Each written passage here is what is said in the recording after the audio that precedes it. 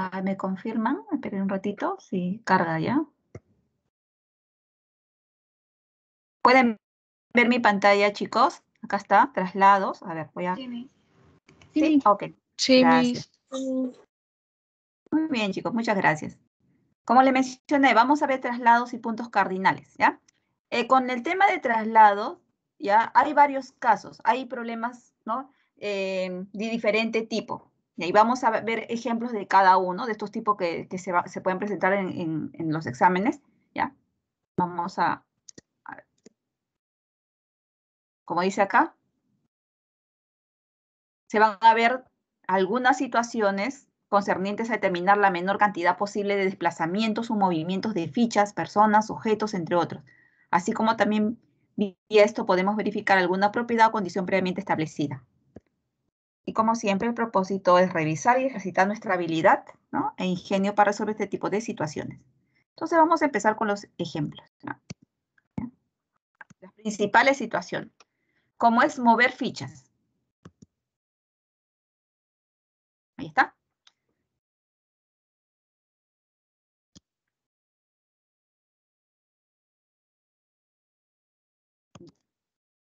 Dice, en la figura las operaciones combinadas se deben realizar con los números que se encuentran en cada una de las cinco fichas, sin cambiar la posición, ¿no? Los signos, ¿no? La posición de signos. Por lo, dice, por lo menos cuántas de estas fichas deben ser cambiadas de posición sin rotarlas para que el valor de m sea el menor entero posible. Esta partecita que dice sin rotarlas es porque esa ficha, la 6 que ven ustedes, si ustedes lo rotan, ¿qué se puede ver? El 9, ¿verdad? Entonces, por eso te dicen sin rotarlas. Si en el problema no menciona sin rotarlas, entonces ustedes sí pueden, ¿ah? Pueden utilizarlo como 9. Si es que no menciona la palabra sin rotarla. Entonces, ah, ya, no me prohíben rotarlas, entonces puedo girarla y utilizarla como 9. ¿No? Depende, pues, si, si, eso te ayuda, pues, a resolver el problema, ¿no? Si te beneficia. Ya, pero como dice no rotarla, sin rotarla no lo podemos voltear. Sigue siendo 6. Tengo 1, 2, 4, 5 y 6. ¿Ya? Ahora, debo encontrar el menor entero posible. Ahora, otro dato más acá. Menor entero. ¿Ya? Recordar.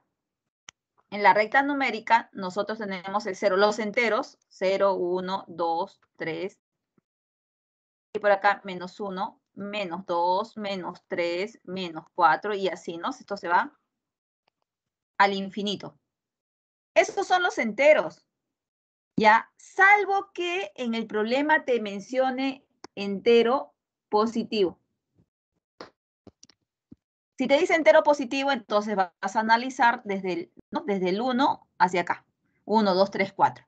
Vas a buscar mover las fichas y que te salga 1, si es posible. Si no te sale 1, buscarás que te salga 2. Si no sale 2, buscarás que te salga 3. Pero solo si te dicen positivo pero como acá no mencionan positivos y me piden el menor entero, yo le puedo preguntar, a ver, ¿cuál es más pequeño? ¿O cuál es el menor entre estos dos números? ¿Cuál es el menor, chicos? ¿Menos 2 o 3? Menos dos. Menos dos. El menos 2. El negativo es más pequeño. Entonces me conviene que mi resultado me salga negativo. ¿Ya? ¿Está bien? Otra cosa, ahora si tuviéramos negativos, yo tengo acá menos 5 y acá tengo menos 2. ¿Cuál es más pequeño? Menos cinco. Menos cinco. Claro, este más pequeño. ¿Ya? O sea que los dos tienen signos negativos, pero el numerito que acompaña el negativo es mayor a este. Pero por ser menos, es el más pequeño. ¿Ya? Entonces, todo eso tienen que tener en cuenta. ¿ya? Entonces, primero que si aparece una ficha con el número 6 y me mencionan sin rotarla, es que se va a quedar como 6. Si no lo mencionan, ya saben, pueden girarla, rotarla y se lo convierte en 9. Segundo, menor entero. Si me dicen entero positivo, ya empezaríamos a buscar desde el 1, ¿no? El menor entero positivo, 1, si no sale 2 y así. Acá no me dicen positivo, entonces, ¿qué, ¿cuál es la estrategia? Buscar números negativos, ¿ya? Y si solamente te dijera el, menor valor posible, menor valor, ¿ya? Ya, el menor valor posible, así nada más. Menor valor. Entonces, puede ser negativo, bueno, buscar que sea negativo y puede quedarte inexacto. No necesariamente tiene que ser un entero, no puede quedarte, no sé, una, una fracción. ¿Está bien? Porque no te dice entero. Todo eso tienen que tener en cuenta, ya chicos, en los problemas. Bien, ahora, como mencioné que ese menor entero, yo trato de buscar que me salga negativo. Y yo tengo acá suma, resta, multiplicación. Bueno, lo que está acá, ¿ya? Y acá, yo voy a tratar de que aquí, bueno, aquí no puedo cambiar, no puedo poner menos adelante, no, no se puede hacer esto, no. Pero sí me puede salir negativo en lo que está dentro del corchete. Acá me puede salir negativo. ¿Por qué me puede salir negativo? Porque aquí hay una resta. En la resta tengo el minuendo, el sustraendo y la diferencia. ¿Ya? Para que esta diferencia me salga negativo, ¿qué relación debe haber entre M y S? Entre el minuendo y sustraendo, para que me salga negativo. A ver qué dicen. Sustraendo mayor. Claro. Claro, el sustraendo tiene que ser mayor. Tiene que este ser mayor. De tal manera que cuando restas te va a salir negativo. ¿Ya? Y miren a quién tenemos como el sustraendo, al número 1. No nos conviene, ¿no? ¿A quién pondrían ahí? En el 1. Al 5, ¿verdad? 5. Ajá. Sacamos este, pasamos acá y al 1 lo ponemos acá. Y acá me sale 3 menos 5 menos 2. Menos 2 por 6, menos 2 entre 4, menos 3. ¿Ya? También hay que tener, tiene que salir entero. ¿Ya? Ahí vamos a ver. Ahí está. Ahora, voy a presentar dos casos acá, ¿ya?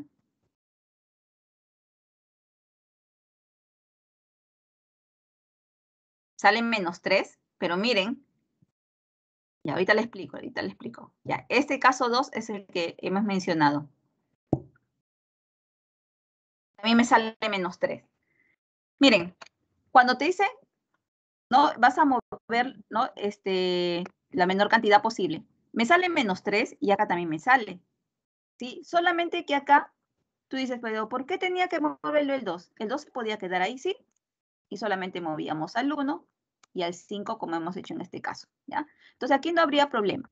Pero tú puedes agarrar y de repente pasear, ¿no? Pasarlo por acá, regresarlo, ¿ya? Puedes estar haciendo varios movimientos. Entonces, el menor, el, como dice, ¿no? La menor cantidad de fichas, ¿ya? Para que me salga el menor entero. Acá hay dos casos que me sale menos 3, pero aquí he hecho un, como dice, ¿no? Un movimiento de más para que me salga lo mismo. Entonces, aquí hice menos, ¿ya? Solamente he hecho dos movimientos. ¿Está bien? ¿Saben qué sucede? Mira, cuando hagamos este, a veces de repente ustedes se han encontrado con esos problemas de trasvases, cuando tienes así vaso, este, recipientes, ya tres recipientes, y te piden una cantidad de litros de líquido, ¿ya? Y tú puedes estar ahí, pasando de uno a otro y uno y a otro y, seguir, y, bueno, y sí puedes lograr la cantidad solicitada. Pero cuando te dicen, ¿no? La menor cantidad de trasvases, ¿ya? Tú tienes que buscar que, la, o sea, que ese número sea un número donde tú no pierdas movimientos, o sea, además, en este caso, miren, yo perdí acá uno. Yo digo entre comillas perdí, ¿no? Sino que he hecho un movimiento de más.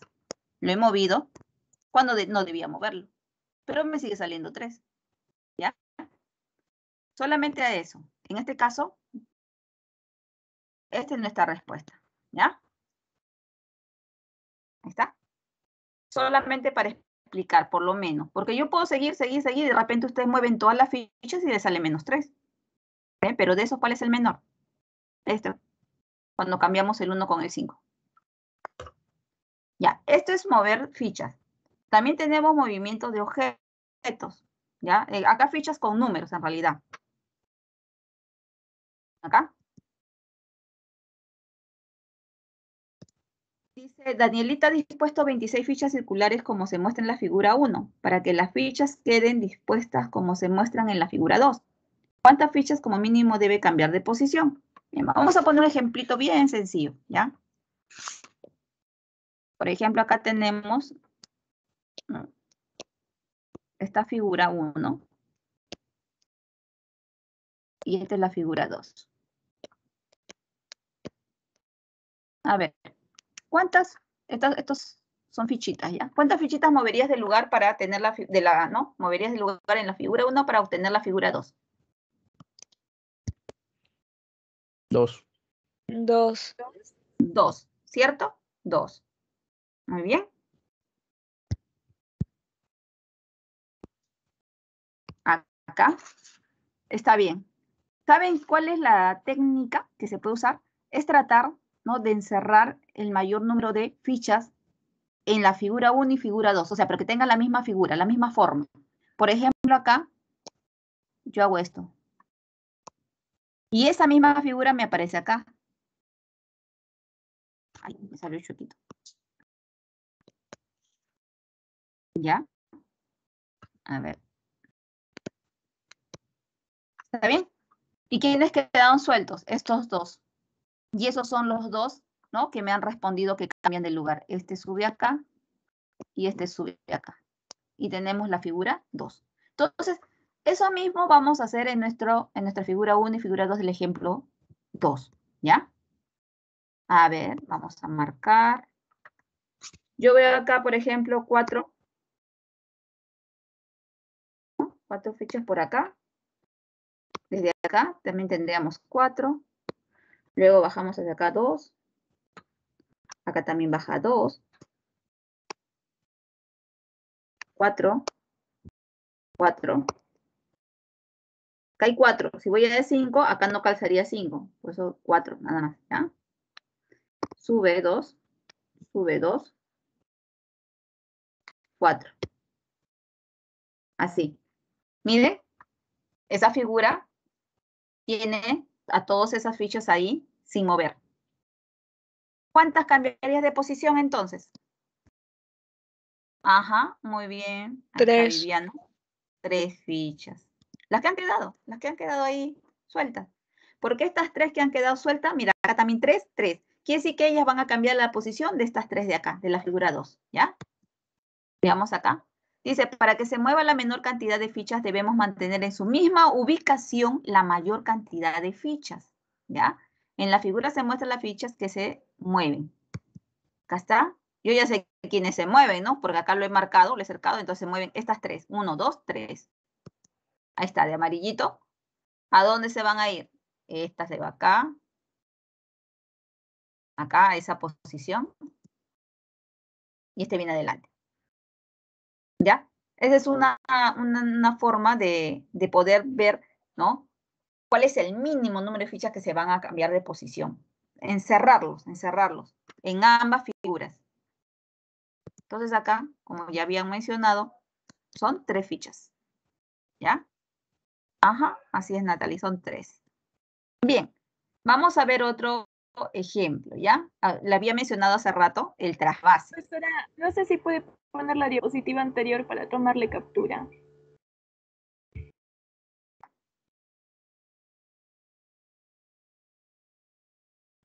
Esta es la cantidad mínima, el caso 2, como vieron. Y acá es como, yo agarro y cambio de lugar acá y doy un movimiento más, ¿ya? Pero ya está de más. Mínimos dos. ¿Listo? Ya está, profesora. Sí, gracias. Ya. Y ahora, como les dije, vamos a ver un ejemplo de trasvase.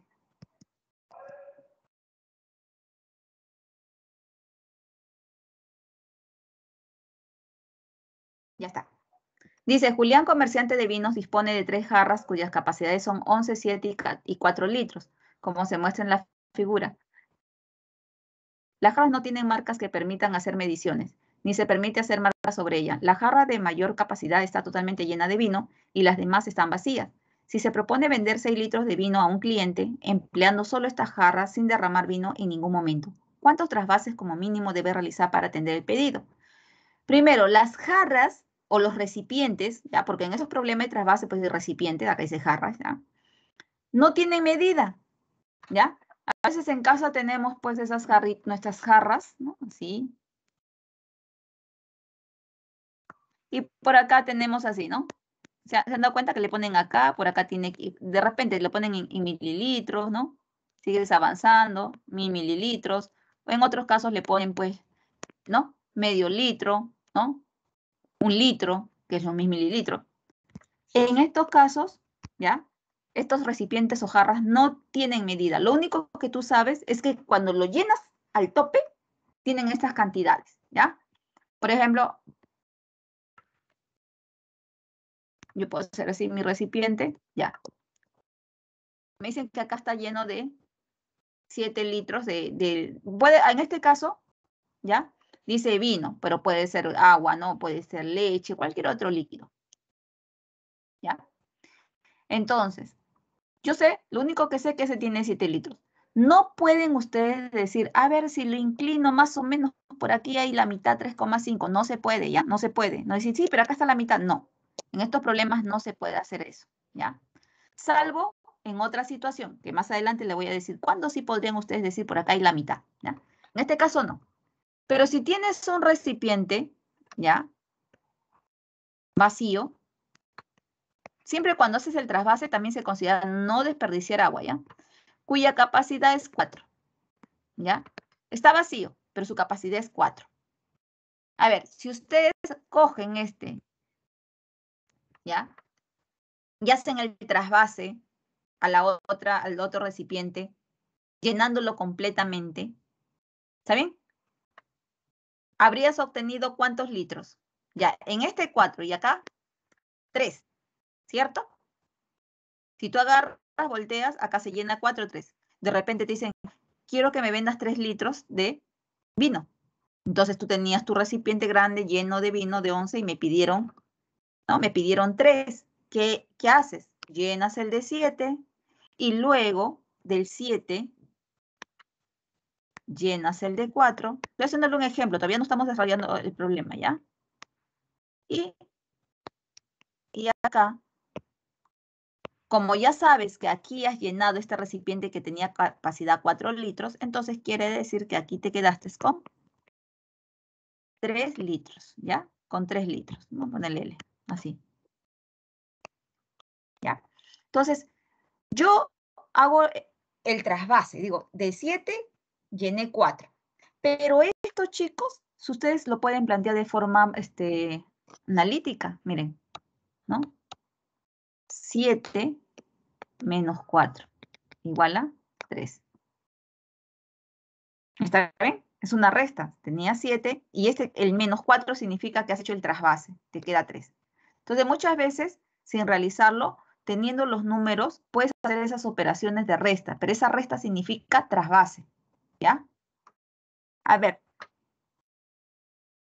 ¿Podrían ustedes conseguir, ya dije 3 litros, ya está. ¿Un litro? ¿Se podrá conseguir un litro? Aquí no, con estos recipientes de acá. Olvídense de esto, ¿Se podría o no? Voy a borrarlo, ¿ya? Ahí está. Desde on, no, perdón. A ver, ¿qué dicen? Este es de 11, arriba. 7. 4. Este está lleno y tiene 11. Ya. A ver, ¿qué dicen? ¿Podrán conseguir un litro? haciendo eso del trasvase, cambiando de un lugar a otro, ¿se podrá o no? Sí. Ya, ¿cómo sería? A ver.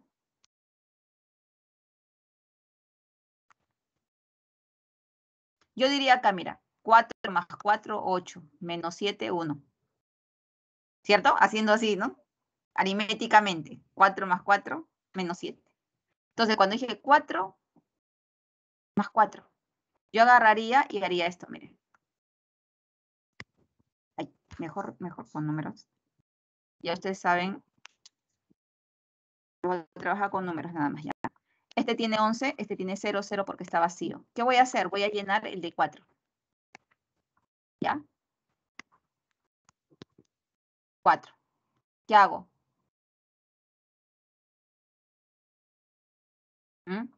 A ver qué harían. Llenarían este, ¿no? O sea, pasarían esto de acá, 4. Queda vacío ya tengo cuatro. Y ahora otra vez otro cuatro. ¿Está bien? Ahí tengo 4. Este recipiente tiene capacidad 7 y tú solamente le has llenado 4. Para completarlo te faltaría 3. ¿Qué haces? Llenas. Lo llenas, ahora sí, se quedó con 7. ¿Y cuánto se quedó acá? 1. ¿Ya? Entonces, lo que le estoy explicando acá es que si esta, si este recipiente tenía hasta acá 4, lleno, ¿no? Hasta acá, hasta acá está esta línea. Y, te, y le faltaba 3 y medio, no, perdón, 3 litros y medio, no, que estoy hablando acá. Entonces, cuando tú completas, esto estaba lleno, lleno, lleno, lleno, y lo llenas con estos 3 litros, entonces te queda un litro. Entonces, los problemas de trasvases, mucho se va a trabajar con eso, con la cantidad que te queda y jugando con los números. Bien, ahora sí vamos al problema. Tenemos ahí las jarras, ¿ya? Entonces, ¿ustedes creen que aquí pueden despachar los 6 litros? No, ¿verdad? ¿Está bien? Eso también tienen que fijarse. Hay problemas que te dicen que los 6 litros se tienen que despachar en el recipiente de capacidad tal. A veces, ¿no? No te dice nada como este caso, entonces puede quedar en cualquiera, pero en cualquiera que sí tenga la capacidad, ¿ya? Este no sería, podría ser acá o podría ser acá, ¿ya? Y vamos a jugar con eso. A ver, si yo quiero, miren, miren, analicemos. Si yo quiero que los 6 litros estén acá, vamos a verlo así.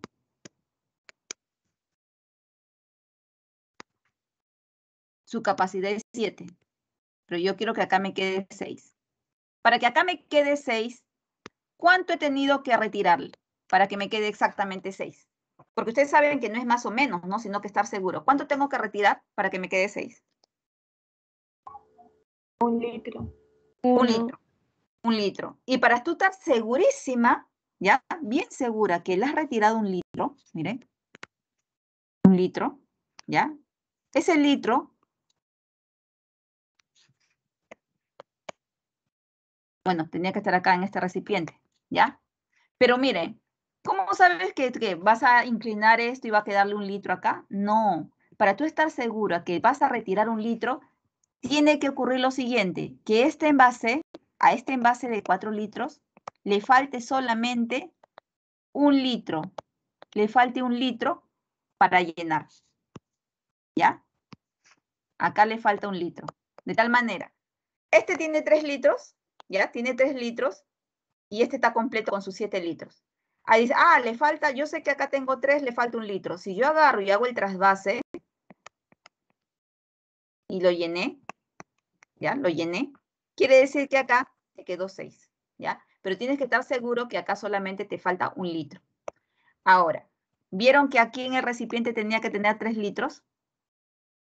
Entonces, yo, estoy yendo como el cangrejo. Estoy suponiendo que aquí me quedó mis 6 litros, pero para que quede estos 6 litros, quiere decir que he tenido que retirar un litro de esta jarra, ¿ya? Y ese un litro se ha tenido que ir a un envase que le faltaba un litro para ser llenado. Entonces, yo digo el 4 para, no puedo trabajar con el 11 porque imagina, 10, 10 litros para que el 11 más los 10, más 6 litros acá, no habría 11, habría más de 11 litros. ¿no? Por eso que me voy al de 4. Para que al 4 solamente le falte un litro para ser llenado, quiere decir que ese, este, esta jarra ya tenía 3 litros. Entonces, nuestra tarea es conseguir 3 litros primero, ¿ya? Y a partir de ahí ya sabemos qué vamos a hacer. A ver, ¿podemos conseguir 3 litros?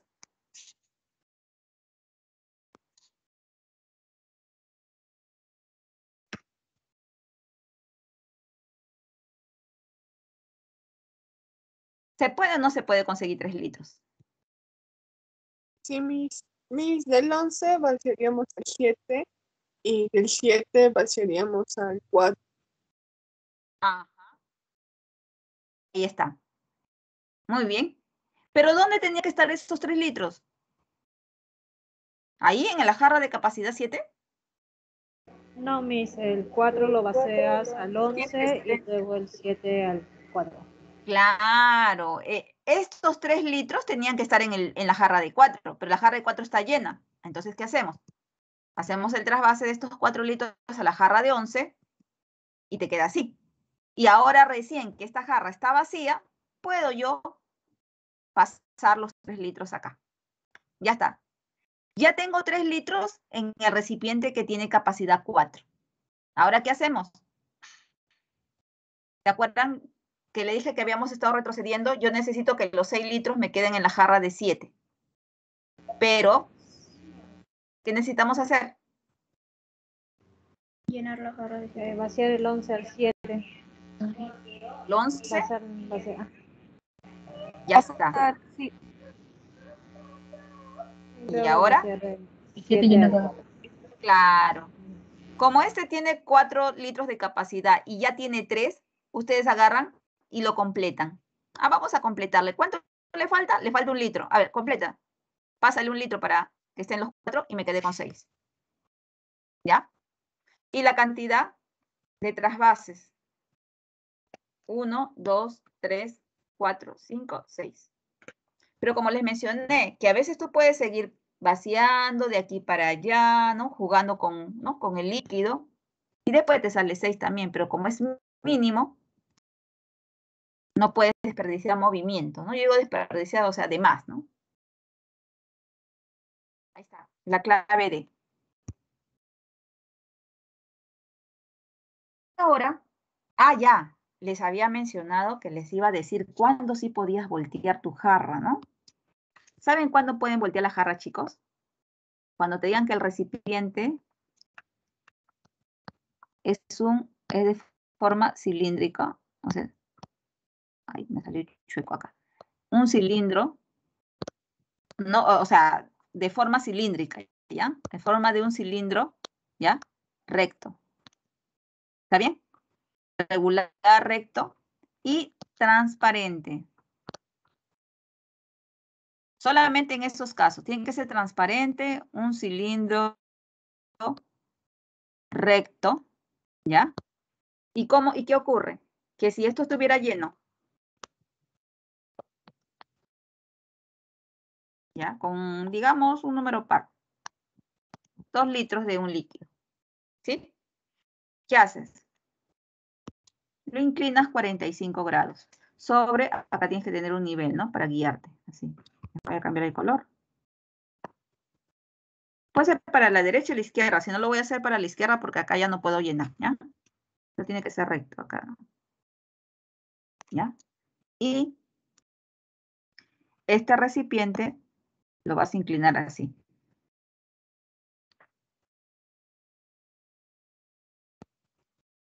Una inclinación de 45 grados. Y cuando inclinas, el líquido se va a derramar. Y te va a quedar solamente esto. El otro ya salió, el otro cayó. ¿Cuánto cae? La mitad. Aquí te queda un litro. ¿Ya? Acá te queda un litro. Y el otro litro se fue a otro recipiente. ¿Ya? Entonces, hay casos, como le dije, al inicio le mencioné, los problemas generalmente te dicen que no, las jarras no tienen marcas, no tienen medición, no puedes, no puedes decir aquí más o menos hay la mitad, no. Pero cuando sí puedes asegurar eso, cuando ese recipiente que tienes es de forma cilíndrica, es no recta y transparente. Ahí sí, puedes inclinar 45 grados y te aseguras que ya está en la mitad. ¿Ya? Bien. Ahora vamos a ver viajes, ¿ya? Problemas de viajes.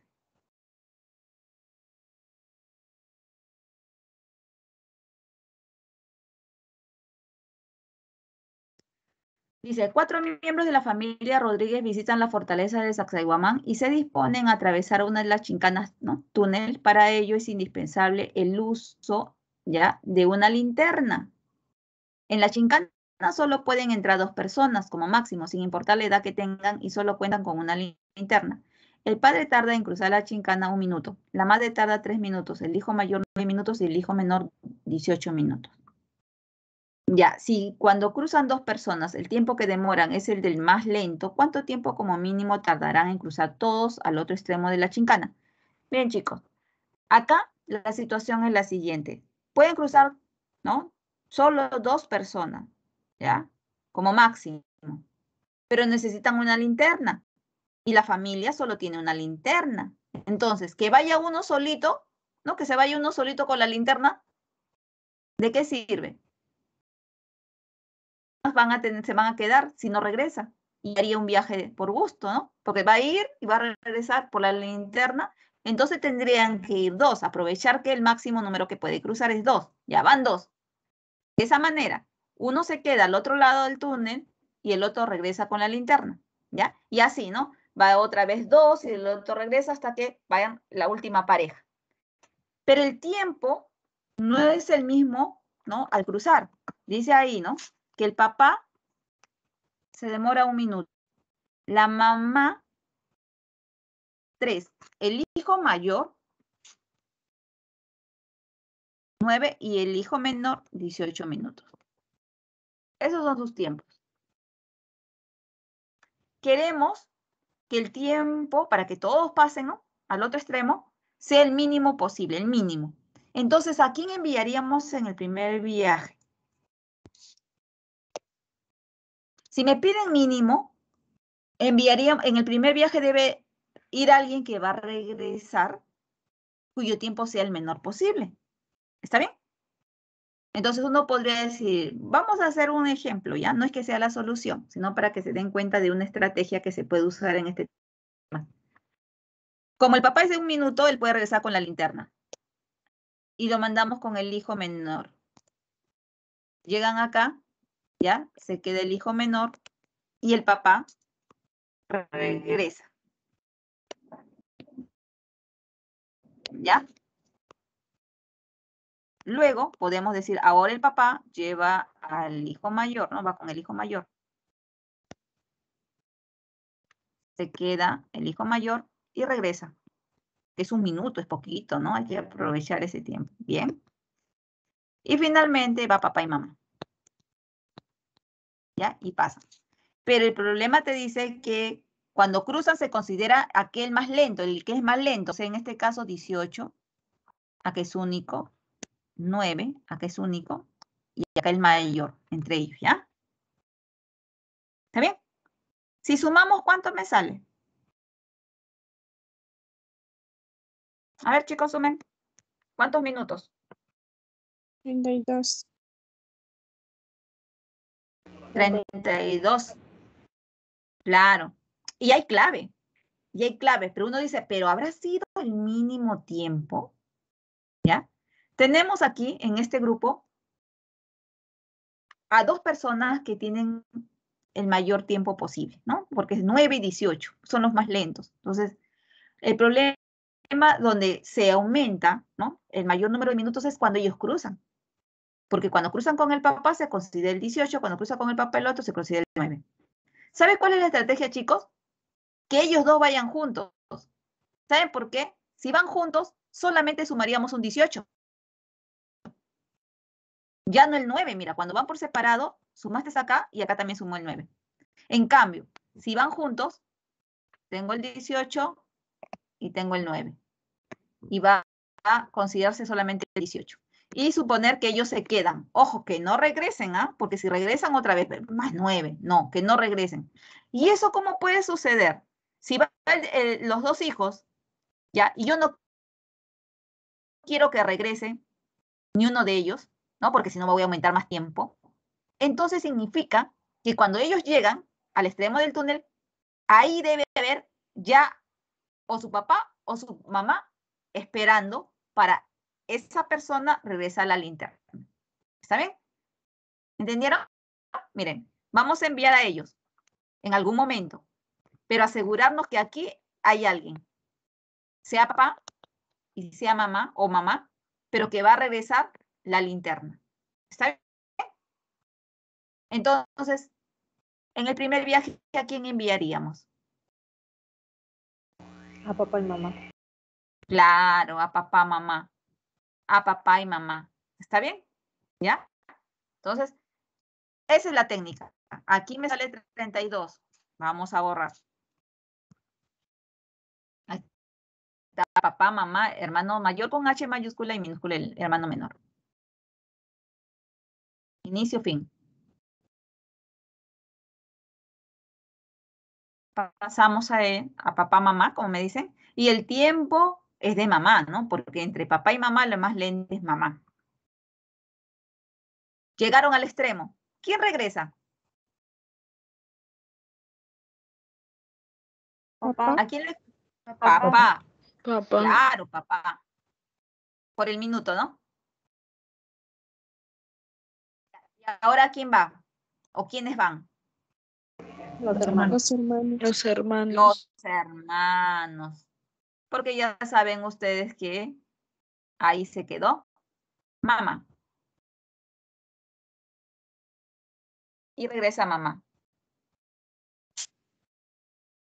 ¿Ya?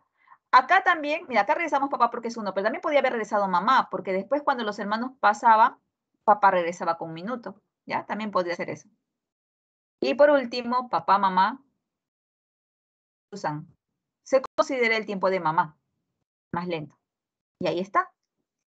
¿Cuánto sale la suma? 28. 28. ¿Vieron? Y en el otro caso, cuando iba pasando papá con cada uno de los, de los hijos, me salía 32. Entonces, esta es la menor, el menor tiempo posible. ¿ya?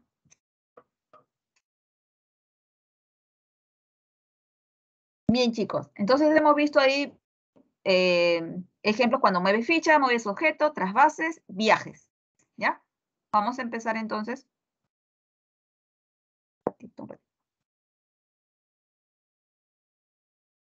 Esperen un momentito, ¿ya? Aquí tengo un problemita. Voy a dejar de compartir y voy a volverla a compartir, ¿ya? ¿Sí? Un ratito, un ratito. Este, descartar. Eh, profesor, una pregunta. ¿Y hay alguna manera de comprobar que lo que hice es la mínima cantidad posible? Cuando de lo, me estás hablando de este tema, del, del tiempo de los papás, Eh, ¿Y de los bueno, hijos? En general, pero sí hay alguna manera de comprobar lo mínimo, ya sea en cualquier caso. ah, ¿me estás hablando en cualquier problema? Sí, sí, o este, no, cualquiera. En este problema sí es sencillo, ¿saben por qué? Miren, eh, la, la técnica es la siguiente. Si ustedes tienen, ¿ya? Si ustedes tienen, este, como dice, cuatro, en este caso tenían cuatro tiempos. Dos eran altos y dos eran bajos, ¿ya? La estrategia era, ¿ya? Que esos tiempos, que los altos, vayan juntos, pero asegurarse de que cuando ellos vayan juntos exista alguien, ¿ya? Que pueda regresar el objeto, porque siempre a veces dicen, a veces son botes, ¿ya? Botes, a veces, este, en este caso es una linterna o un objeto, pero, pero necesariamente tiene que volver. Entonces, para que tener el menor tiempo, pasar el mayor, ¿no? Los mayores juntos y que alguien esté en el otro lado para que regrese ya sea el objeto necesario para que los otros puedan seguir cruzando. Y entonces, para que eso suceda, quiere decir que en el primer viaje tienes que mandar a los que tienen menor tiempo. ¿Ya? Hay un problema en ejercicios que vamos a ver como aplicación y se van a dar cuenta ahí que este, ahí está, que efectivamente funciona, fun- funciona esa estrategia que les he mencionado. ¿ya? Voy a volverla a compartir.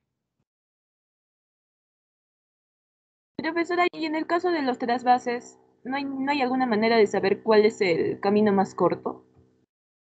Como le mencioné, te piden una cantidad. Tú primero analizas como el cangrejito, como lo hice, ¿no? Yo quería 6 litros. Ah, voy a aprovechar acá. Tenía 11, este tenía 7. Este tenía, ¿cuánto era? 4, ¿no? Así. ¿Qué querías? 6 litros. 6 litros, ¿ya? Pero este tiene 7. Entonces, ¿qué quiere decir? Que un litro tiene que salir de acá. ¿Y cómo asegura salir un litro? Tú dices, salir un litro significa que este litro tiene que llenar a un recipiente, pero los recipientes no tienen medida. Entonces, para que acá salga un litro, significa que el otro recipiente, ¿ya? El otro recipiente le haya faltado para llenar exactamente un litro. ¿Ya? Le haya faltado para llenar exactamente un litro. ¿No? Porque este de acá se va acá. Y para que le haya faltado un litro, quiere decir que ya tenías tres litros. ¿Ya? Y si ya ten, y yo digo, ah, ya, entonces, para hacer esto, yo estoy haciendo como el cangrejo, ¿no? De atrás hacia adelante. Entonces quiere decir que si yo consigo tres litros, Luego lleno el de 7 y hago mi trasvase completo y me quedo con 6. Entonces, ¿cuál es la, aquí la tarea? Conseguir los 3 litros. Ahora, le dije también que pueden utilizar aquí este, la aritmética. 3.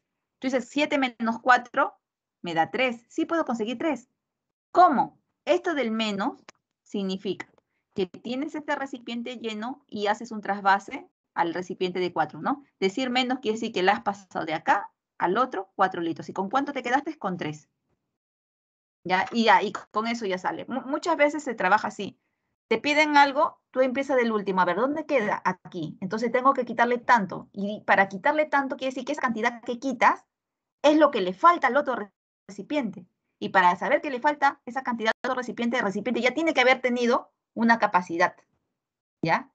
De tal manera que para pasar solamente esa cantidad que necesitas quitar al, pedido, ¿ya? Tienes que haber conseguido, en este caso como este 3, haber conseguido esta cantidad. Jugando nada, nada más. Por eso yo le pregunté, si tú tienes así, tienes estos, ¿no? Esta cantidad de vino, estos recipientes, ¿pueden conseguir un litro? Me dijeron que sí. ¿Cómo? Yo dije, 4 más 4, 8 menos 7, me sale 1. Quiere decir que voy a llenar dos veces este 4. 4 y después otra vez lo llené de 4.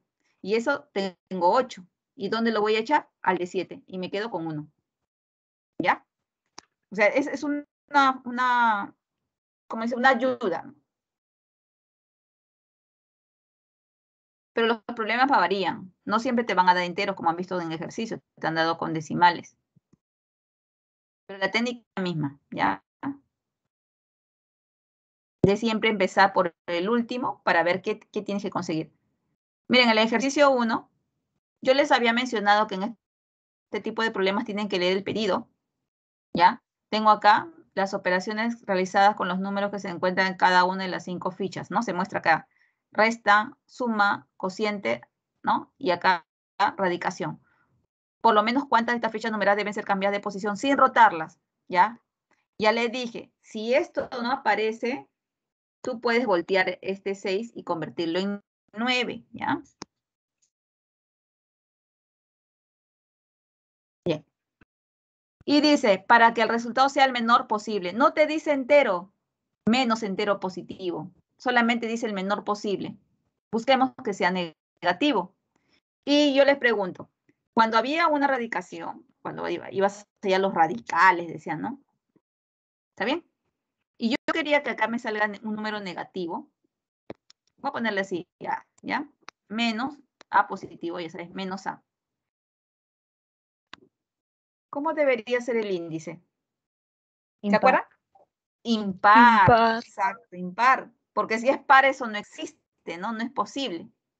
Entonces es impar.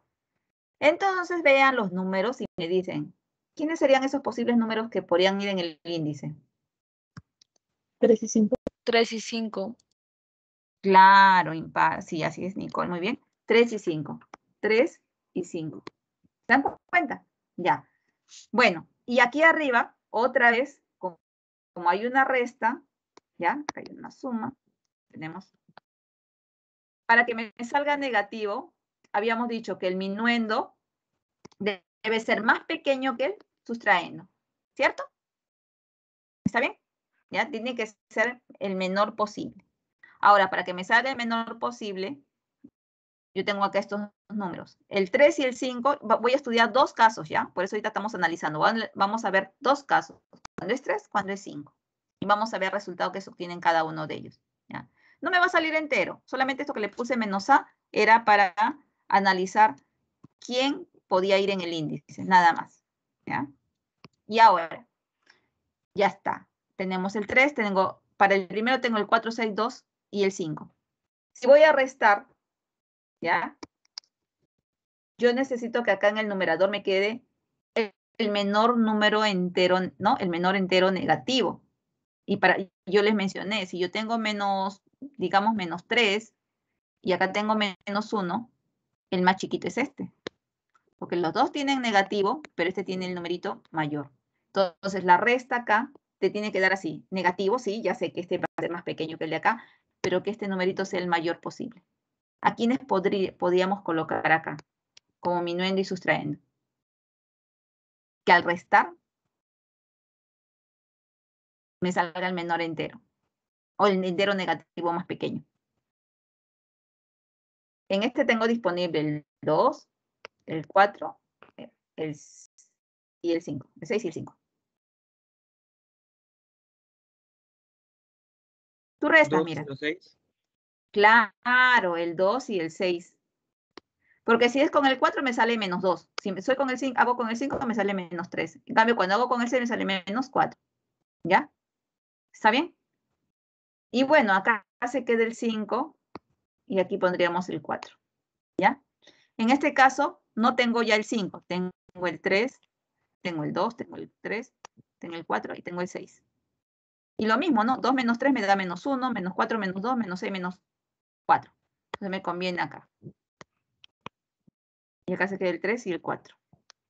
¿Ya? ¿Está bien? Vamos a resolver cada uno de ellos. Vamos a pasar limpio ya. Ahí está. ¿Cuál es 3? Acá, menor entero negativo, ¿no? El menor negativo. Que este acá. ¿Ya? Moviendo cuatro fichas.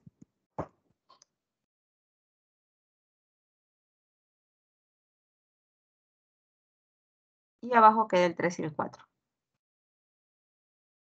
Ya salí de estos números. Pero cuando son enteros yo sí puedo rápido comparar, ¿no? Pero ahora, ¿qué hago? ¿Y cuál de los dos es más pequeño? Claro, sin, sin utilizar calculadora, ¿no? Entonces podemos utilizar aquí propiedades, ¿ya? A ver, ¿recuerdan ustedes si cuando tenían así radicales con distinto índice? ¿Ya? Hacíamos algo de tal manera que ahora los dos tengan el mismo índice. Que sean el mismo índice. Tengo índice 3, tengo índice 5. ¿Cuál sería el índice común de 3 y 5?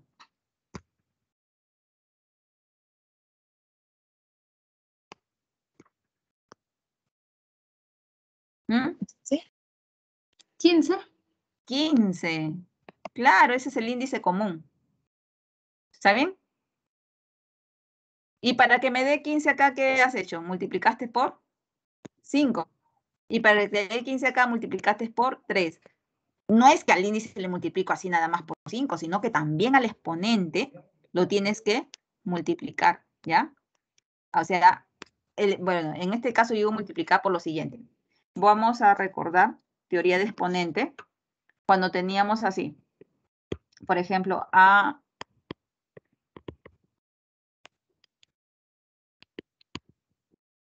esto era así, ¿no? Todo esto elevado a la n y índice m. ¿Sí? Si tú multiplicas, yo digo multiplico por lo siguiente. Si yo acá le multiplico por 2, acá también por 2, y sigue siendo igualito. Si le multiplico por 7 y acá por 7, sigue siendo lo mismo, porque es como si estuvieras multiplicando acá, mira, 2 y 2. Se simplifica. ¿Ya? Es lo que hemos hecho acá. Por eso yo, yo le decía, ¿no? Acá has multiplicado, no, por 5, ¿no? Por acá es por 5. Ahí está, estaba al revés. Y acá multiplicaste por 3, quiere decir que lo que está acá lo elevaste al cubo. ¿Ya? Es esto, mira, multiplicar al, eh, al el exponente es una fracción.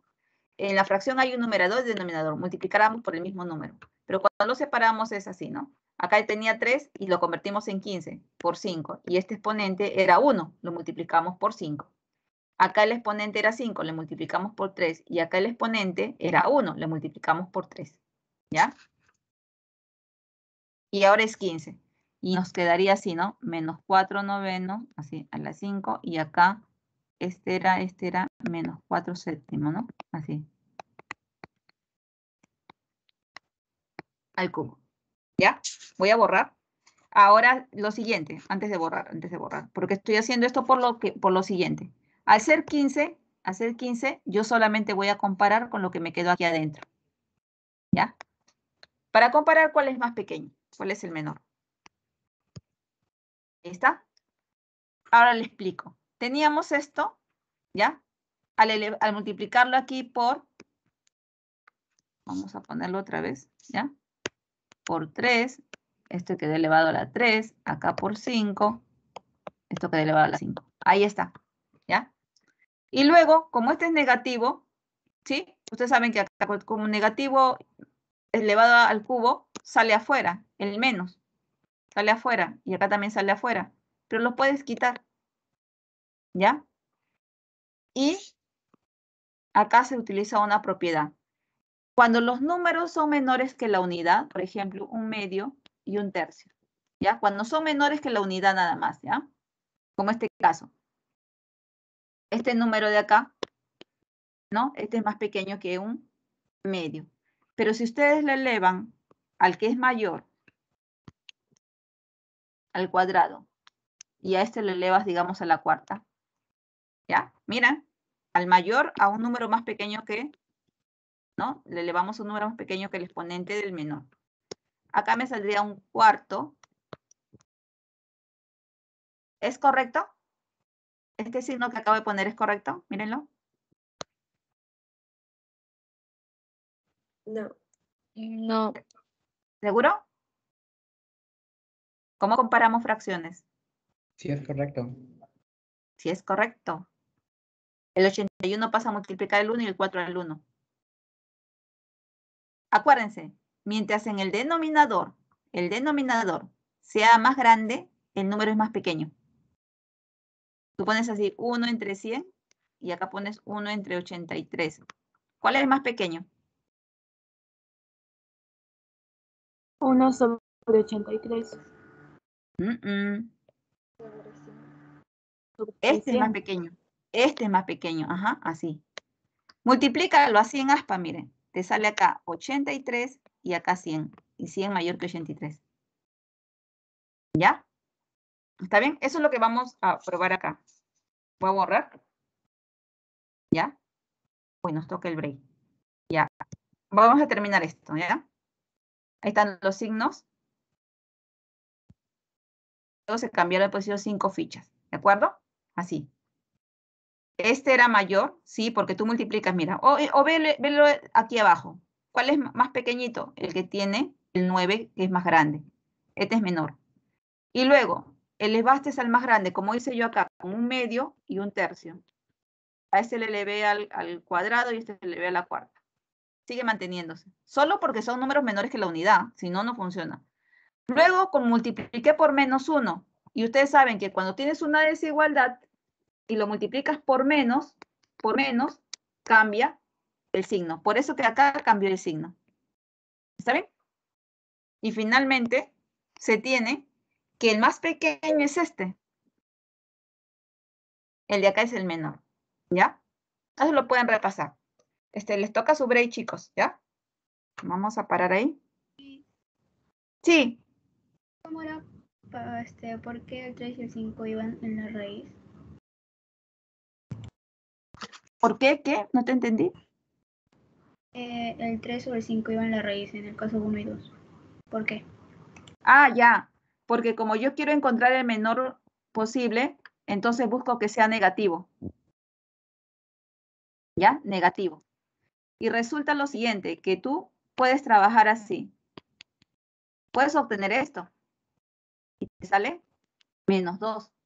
Pero nunca podrías decir, nunca podrías decir lo siguiente, que la raíz cuadrada de 4 me sale menos 2. Porque este es par, que no se pone ahí. ¿Ya? Para que te salga negativo, para que salga negativo, solamente es cuando el índice es impar. ¿Está bien? Sí, mis gracias. Miss, Sí.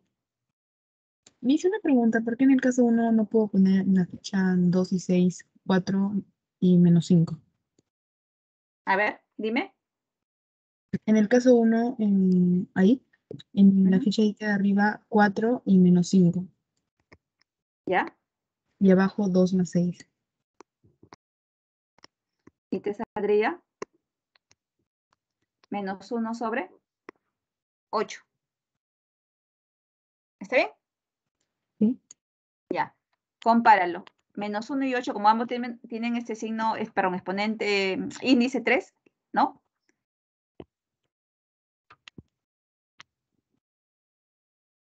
¿Cuál es menor?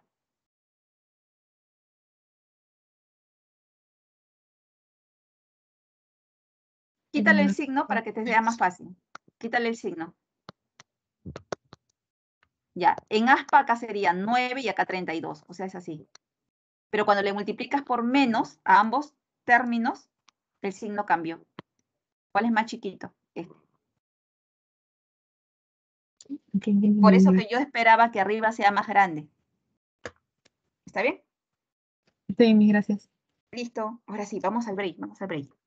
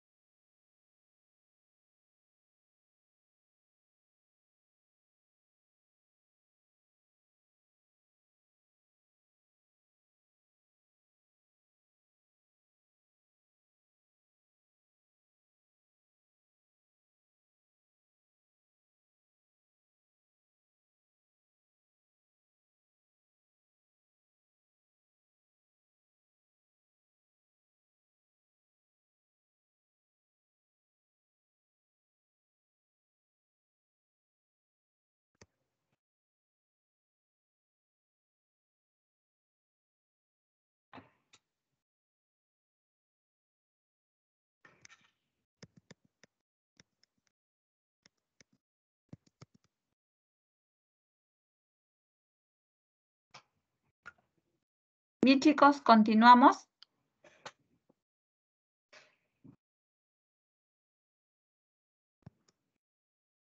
Vamos al ejercicio 2. ¿Ven? Acá vemos de trasvase. ¿Me escuchan? A ver, confírmenme. Creo que no. Sí, Miss. ¿Sí? Ah, ya, gracias. Sí, Miss. Ya está. Bien, les mencionaba el ejercicio 2, Dice, Di tiene dos jarras vacías de 1,8 litros y 2,5 litros de capacidad, además de un balde de 7 litros de capacidad que contiene 6 litros de chicha. Ni las dos jarras ni el balde tienen forma regular. Además, ninguno de los recipientes tienen marcas que permitan hacer mediciones. Ni se permite hacer marca alguna. Si no se debe desperdiciar chicha en ningún momento, ¿cuántos trasvases como mínimo debe realizar para obtener 2,8 litros de chicha? Entonces aquí tenemos, ¿no? Este, el balde de 7 litros de capacidad. Ya tiene la capacidad de 7 litros, pero ya tiene, dice, 6 litros, ¿no? no o sea, no, no tiene, no tiene este, todo completo, ¿no? Solamente tiene 6 litros. ¿sí? Ya. Estos sí están vacíos. De capacidad 2,5 y de capacidad 1,8. Lo voy a borrar ya. Porque ya sabemos que estamos con litros, ¿no? Bien. Entonces ahora vemos y analizamos. ¿Dónde quedarían los 2,8 litros de chicha que me solicitan? Aquí, miren, tiene 1,8, aquí no puede. 2,5 tampoco. Entonces significa que esos 2,8 quedaría en el recipiente de capacidad 7. ¿Ya? Borramos. Hasta ahí. Está claro, ¿verdad? Ya saben que aquí tiene que quedar. Entonces tú dices, ah, ya, empezamos el análisis del final y retrocedemos. Entonces, si yo quiero que aquí me quede 2,8, ¿ya? ¿Está bien? Tú analizas. Yo quiero que me quede pues así, por acá, 2,8. ¿Cuánto tendría que retirar? A ver. 3,2. 3,2. 3,2, exacto. Ah, ya. Ahora, yo no tengo un envase que, que, que tenga pues este, la capacidad de 3,2, tiene menos de esa capacidad. Entonces quiere decir que se va a tener que repartir. ¿Ya? Miren. Bueno, como es 3,2, llenaría este con 2,5. ¿Está bien? Llenaríamos el de 2,5. Pero todavía sobra. ¿Cuánto sobra? Si restamos 3,2 con 2,5 me sale 0,7. 0,7. Significaría que aquí debo llenarlo con 0,7. ¿Ya? Así. Entonces, bueno, 2,5 ya saben que llenas y completas el envase. Ya está. Pero ¿cómo conseguimos 0,7? Y ahí está la tarea que les dije, ¿no? Utilicen la aritmética. ¿Cómo consigo 0,7? ¿Se puede o no se puede?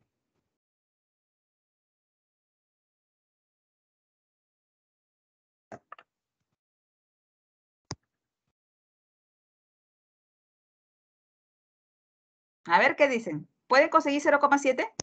Jueguen con los números nada más. Jueguen con ellos. Luego ya van, a, van, ya a los envases.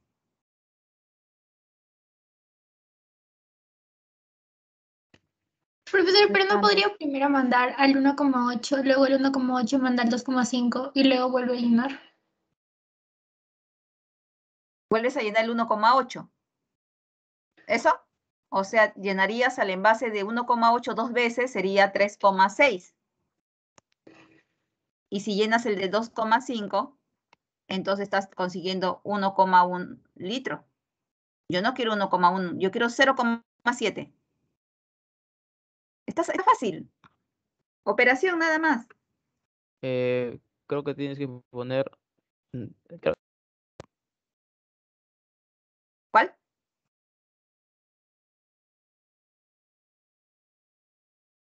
Del 7 va para el 2,5 y del 2,5 va para el 1.8. Muy bien. Porque 2,5 menos 1,8 me da 0,7. ¿Está bien? Cuando yo les dije solamente quiero, ¿cómo obtengo 0,7? 0,5 menos 1,8. Ahora, eso es, no como digo, de manera aritmética, pero ¿cómo lo hago en nuestro problema? Llenamos el envase de 2,5 y luego hacemos el trasvase de 1, al, al envase de 1,8. ¿Está bien? Y, y obtienes los 0,7, pero ¿en qué envase vas a conseguir los 0,7? ¿Dónde va a quedar? ¿En el envase de qué capacidad? 2,5. En el de 2,5. ¿Y dónde lo queremos? ¿Dónde lo 1,8. necesitamos? En el 1,8. 1,8. Y entonces hacemos como, y hacemos como, como nuestro ejemplo, ¿no? Vaciamos la cantidad que quede en el 1,8 para, como saben ustedes, dejarlo vacío y pasarlo 0,7 a ese recipiente, ¿ya? Esa, esa como yo le, le digo, ¿no? Siempre piense del último, ¿dónde queda? ¿Y qué tiene que suceder? Yo siempre utilizo esa técnica para poder desarrollar. Me ayuda. Y utilizando también la operación de resta con los números. Entonces, como mencionaron, para conseguir 0,7, llenas el 2,5. Y luego, del 2,5, llenas el 1,8 y te quedó 0,7. Y luego les pregunté, yo quiero el, 2, co- el 0,7 en este recipiente. No, yo quiero en el recipiente de 1,8. ¿Qué hacemos? Pasamos todo esto, ¿no? Este, esta chicha, ¿no? Al recipiente de 7 litros. Y me queda así. Y ahora sí, este 0,7 lo necesito en este recipiente. Pasamos a este. Ahí está. Bien. Y ahora sí, ¿se acuerdan que teníamos que sacar 3 litros, 3,2 litros? ¿Y cómo lo dividimos? Y me dijeron en 2,5 y en 0,7. Ya tengo 0,7. Entonces, solamente ahora me falta llenar, acá ya tengo 0,7, llenar este recipiente. Y ahí está, me quedó 2,8. En este caso han sido solamente 5 movimientos, ¿ya? Desde acá, 1, 2, 3, 4, 5.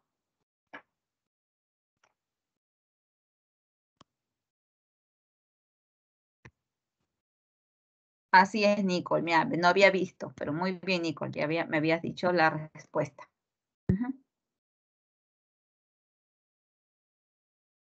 Vamos al ejercicio 3.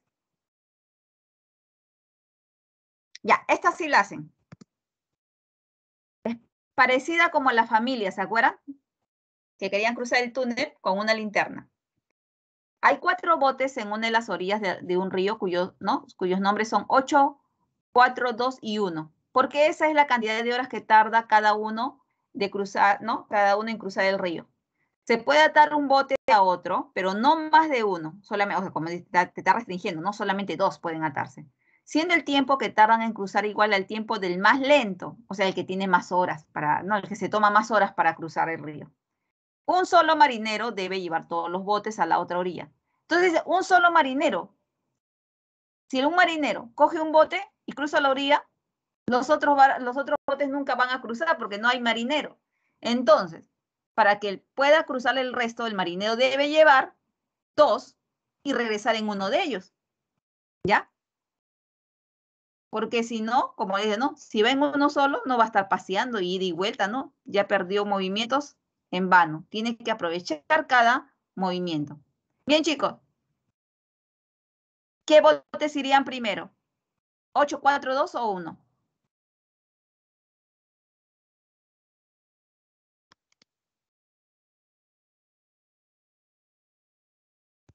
A ver. ¿A quiénes mandamos primero? ¿A los más lentos o a los más rápidos? Al 2 y al 1. Dos. Claro, al 2 y al 1. Exacto.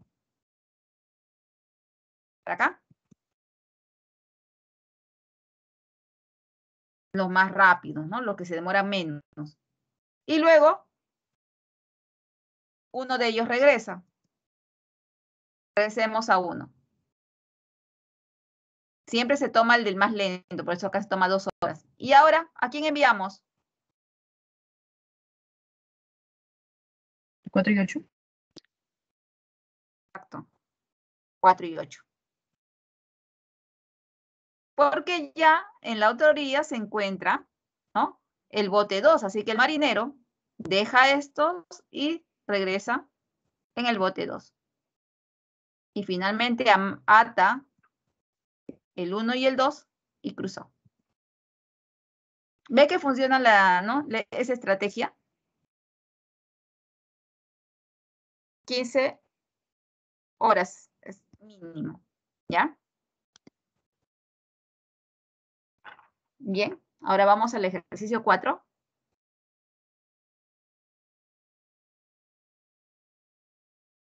Ya, en la figura se muestra y dice, ah, este es un tablero de ajedrez, no una parte nada más, donde vemos acá cuatro caballos. Siguiendo las reglas de ajedrez. ¿Saben el movimiento del caballo, chicos? En En L. En L. en L. En L, muy bien. En- dice, ¿en cuántos movimientos como mínimo se puede intercambiar de posición los caballos blancos y negros? Bien. O sea, voy a dibujar la posición final que me están pidiendo, ¿ya? Pero no voy a dibujar los caballos, voy a ponerle N de negro y, M, y B de, de blanco, ¿ya?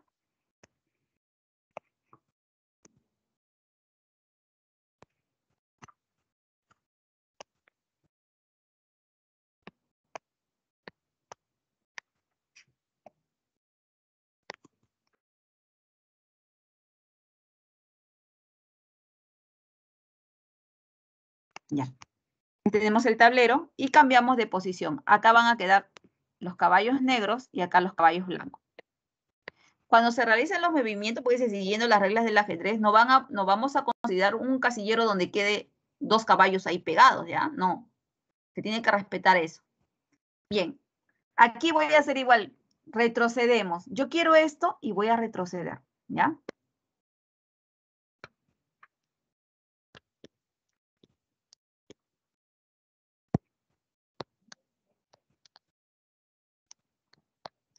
Así? Y vamos a pintar a este caballito con color rojo.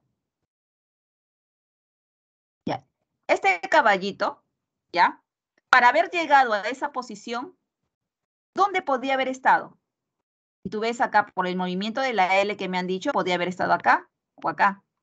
O sea, aquí o aquí. En L, miren. ¿Está bien? ¿Ya? Vamos a borrar. Y a este le voy a pintar de verdecito. Ahí está. Y otra vez, ¿y este verde, dónde, este caballo que le pinta de verde, dónde podría haber estado? Aquí y acá. ¿Cierto? ¿Está bien? ¿Ven? Entonces puedes acá y así. Porque se mueve en L. Entonces, vemos que en ambos casos, ¿ya?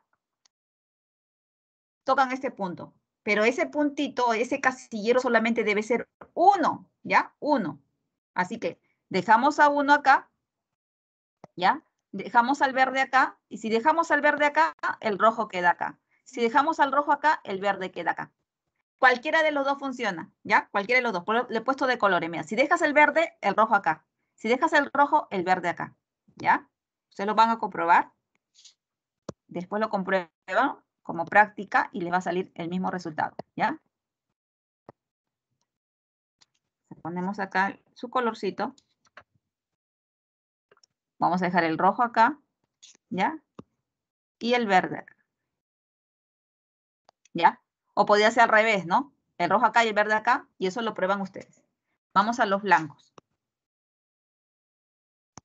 Poner azul. Y hacemos el mismo análisis. Para llegar el blanco acá, ¿dónde pudo haber estado? Acá y acá. Mira, L, L. Acá o acá. Ah, pero ahí está el negro. No, entonces solamente me está quedando este. ¿Se dan cuenta? Ya está descartado, porque no puedes ponerlo encima. Y el otro caballo blanco, que lo vamos a pintar de morado. ¿No? Analizamos, ¿dónde puede haber estado? Acá y acá. Entonces puede haber estado acá o acá. ¿Sí? Pero como el azul solamente le queda este de acá, entonces el morado quedó acá. ¿Ya?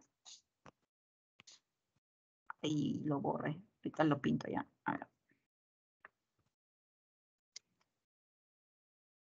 Y lo pongo acá.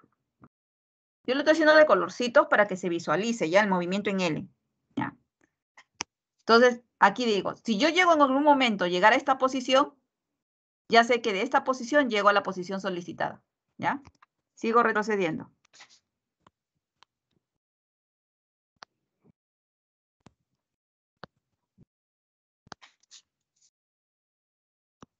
Ya. Ahora veo acá este el, el caballo negro que le he pintado de rojo.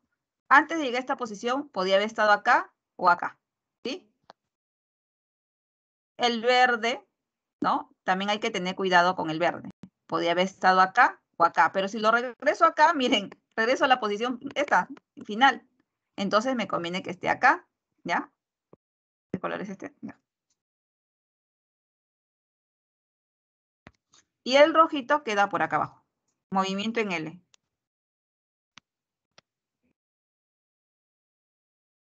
No he repetido este mismo, porque si yo me voy hacia acá, hacia la derecha y el otro hacia la izquierda, me queda esta posición, ¿no? Y, en vano, ¿no? Movimientos en vano. ¿Ya? Y el blanco, igual, ¿no? El blanco es el, este azul, podía ir acá, que ya está ocupado, y acá. Entonces lo dejamos acá, porque el otro lugar ya está ocupado por un negro. Entonces, acá. Y el moradito, acá arriba, ¿no? Es un caballito por casilla. ¿Vemos? Y seguimos retrocediendo.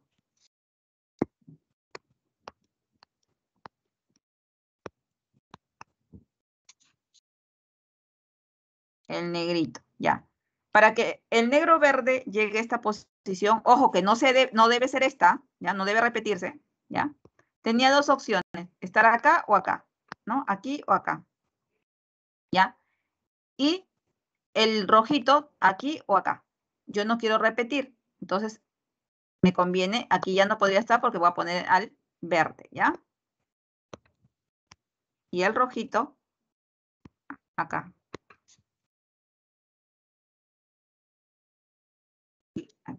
Color azul, ya.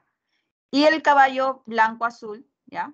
El, bueno, el caballo blanco, pero le he pintado de azul yo para identificarlo. Podría estar aquí o acá, pero aquí está el negro, entonces solamente tiene este lugar.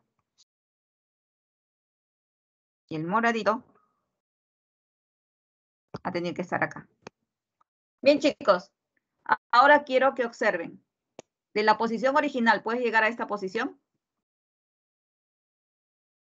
NN son negros y, y BB son blancos.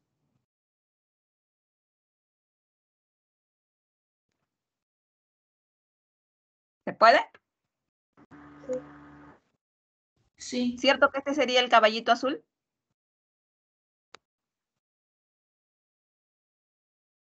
¿Sí o no? Y este sería el, el, que pinté de moradito. En L llega acá. En L llega acá. Y lo mismo sucede para negro. ¿Ya? Este sería el verde, ¿no? Este sería el verde. Y este sería el rojo. Ahí está, chicos. ¿Ya? Pueden hacerle captura porque con los colores se puede identificar los movimientos, ¿ya? Y miren, de aquí, mover acá. Cada movimiento, o sea, por pieza. Aquí, ¿cuántos se han movido? Se movieron cuatro, porque son los cuatro caballos que le hemos cambiado de lugar. Acá se movieron también los cuatro, los cuatro, los cuatro. Son 16 movimientos para llegar a esa posición. Ya, ahí está con colores. Para que se pueda diferenciar. Voy a borrar y yo voy a poner ahora, yo he retrocedido, ¿no? De, la, de lo, lo que me solicitan, he ido retrocediendo, retrocediendo, retrocediendo. Entonces, como ven acá la distribución, ¿cómo quedan, no? Estos quedan en estas pequeñas diagonales, ¿no? Blanco, blanco. Luego quedan en columna, columna. Después otra vez diagonal, diagonal y quedan fila, fila. Voy a borrar para pasar en limpio? 16, Viviana, está bien. Que cada movimiento se suma, ¿no? Los cuatro se han movido. Está bien, 16. ¿Corramos?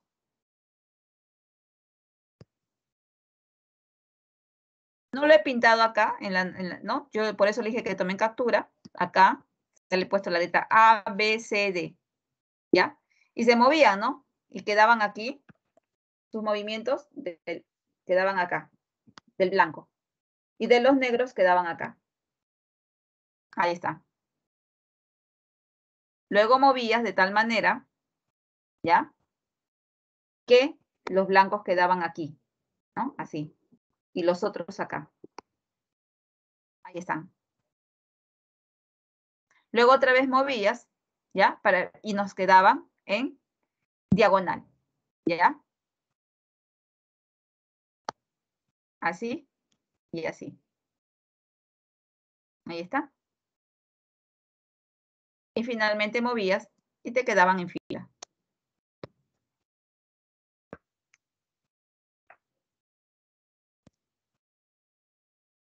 Dieciséis movimientos.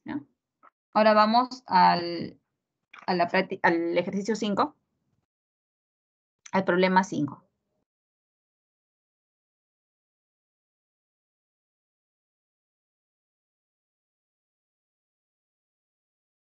Ya.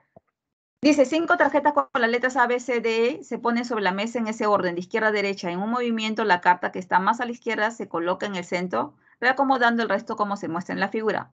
Acá en la figura vemos que este de acá se pone acá en el centro. No que cambia el lugar con la C, ¿ah? miren, no, sino que le dice espacio, espacio, vete acá, te vas a la izquierda. O sea, se abren, ¿no? Le hacen un espacio para... Luego, dice, en el segundo movimiento, la carta de la orilla derecha, o sea, E. Se hace espacio, se hace espacio y hace que A, D se vayan hacia la derecha, ¿no? Y le den un espacio ahí. No intercambian, solamente se abren. Eh, luego continúa y ahora le toca B, ¿eh? Y así sucesivamente, D. O sea que en el quinto, si nosotros trabajamos acá, ¿no? Para darle idea, en el quinto, ¿a quién le tocaría? Estar en el centro. A C, ¿verdad? A C, ¿ya? Y E con D se irían hacia la izquierda y acá queda B, A. En 6 le tocaría a A, estar en el centro. ¿Ya? CB se mueve, ED ahí. En el 7, como ya este ya lo marqué, ahora le toca a E. En el centro se ve por acá y acá D, A. En el 8 muevo a B. E con C se van hacia acá. En 9 se mueve D. ¿Ya? A con B se van hacia la izquierda, E con C queda igual. Y ahora le toca C.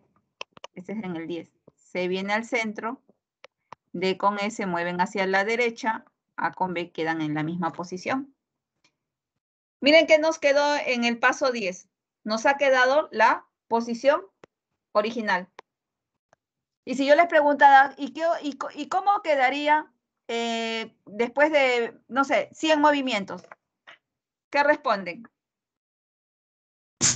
En la posición actual del número 10. Ajá, igualito. ¿Y en 1000? Lo mismo. Lo mismo, porque cada 10, mira, cada múltiplo de 10 se repite.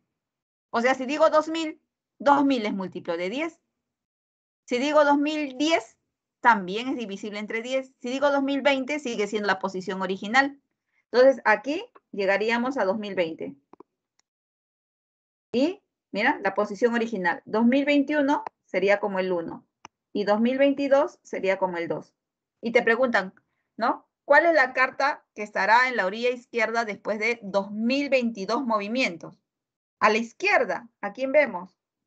A B. ¿Ya? Ajá, así es, doña, sería B. Muy bien, chicos. ¿Ya?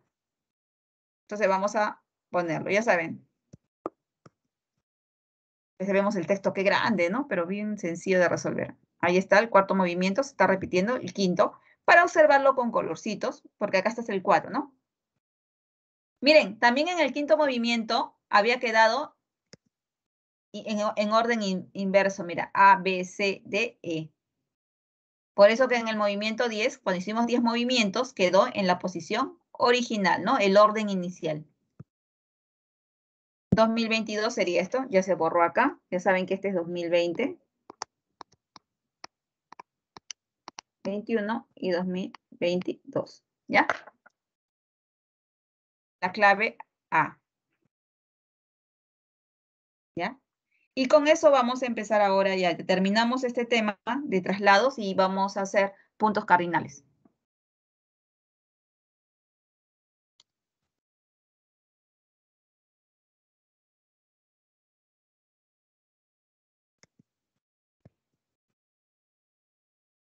Aquí tenemos algo de teoría sobre los puntos cardinales, el este, el oeste, el norte, el sur, ¿no? Este llamado oriente o este llamado también occidente, siempre dicen, no, el sol sale por el este, nos enseñan de pequeñitos, ¿no? Y se oculta por el oeste, o no, por acá le ponemos occidente. el norte es la que está al frente siempre que el este esté a tu derecha. A tu derecha.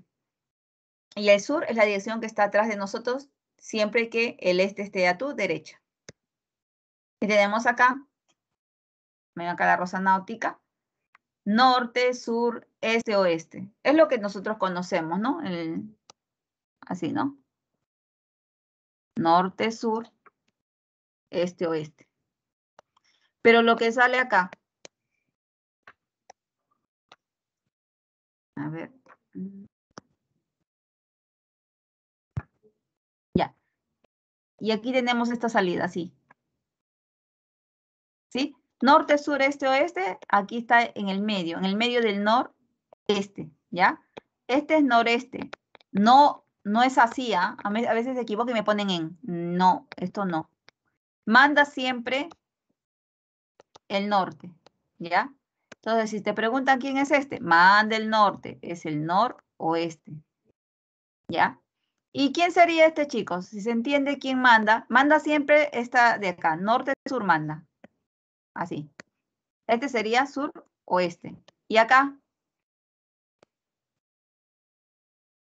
¿Quién sería? Sureste. Sureste. Sureste, sureste. Siempre manda el sur. ¿Ya? Pero, si después nosotros queremos sacar entre el norte, digamos acá, esta dirección, no acá, entre el noreste, entre el noreste y el este, ¿saben quién manda? El este. Entonces, primero colocas esta E, ¿ya? Voy a borrarlo, voy a borrarlo, se está amontonando. Acá tengo ya, lo, le he puesto, miren, tipiadito. Ya, y ahora sí, para que no se me amontone. Voy a... Estaba acá, en el medio de estos. Ya, en el medio de estos, le estaba explicando. Manda el este, ¿ya? Pones adelante el este y después ya noreste. Se llama N, ¿ya? Siempre el negrito manda, ¿ya? El negrito es, en este caso, es norte, sur, este, oeste. Y si yo quiero saber esta dirección, que esté en el medio, ¿ah? estoy asegurándome que estoy en el medio. ¿Cómo sería? ¿Quién va primero? El S. Sur. El S del sur. Y luego le agregas so. ¿Está bien? Abajo también lo, he escrito, ahorita, ahorita lo voy a animar, acá, ya. ¿Y aquí? ¿Cómo sería esa dirección? Oso. Oeste. Oeste. Oso. Así le llaman, así le llaman, oso. Miren acá. Ahí está. Otra cosa que necesitamos, otra herramienta para estos problemas, chicos, son eh, repasar lo que son los este, triángulos notables, ¿ya? Nos puede quedar triángulos conocidos, bueno, este, de 30 a 60 ya lo hemos visto, de 45 también, hemos tenido problemas. El, este de 16, ¿no? 16, este, 74, repasar, ¿ya?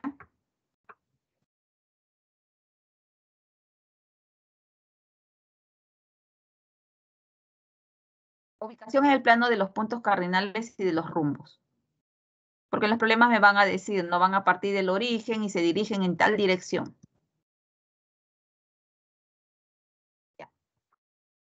Les había mencionado que este norte-sur son los que mandan en una dirección. Si te dicen norte, este 20 grados, quiere decir que si la dirección ha sido, se estaba dirigiendo hacia el norte, pero se inclinó 20 grados hacia el este. ¿Ya? ¿Está bien? No por acá, no por acá, es por acá el ángulo. Siempre parte del norte y así, así, así.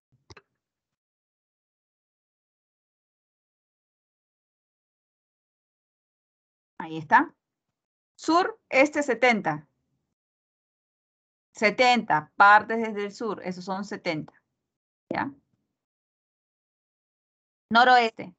Cuando no te dan el ángulo, te están diciendo que es 45. Así como en la anterior diapositiva, yo le ponía, está en el medio, ¿no? En el medio de los dos, ¿no? De las dos direcciones. Y era la mitad. Entonces, en este caso, como aquí se forma, el de sur oeste acá se forma 90 grados, la mitad sería 45, ¿ya? Acá igualito, la mitad, 45. Pero no lo ponen. Simplemente dicen noroeste. ¿Ya? Hola acá. Y oso. Y acuérdense que este era oso, entre la mitad. Pero la mitad de 45 sería 22,5. N. Y la mitad. En este caso, ¿no? Era este, ¿no? Mandaba en ese sentido el ángulo. 22,5. ¿Ya? está.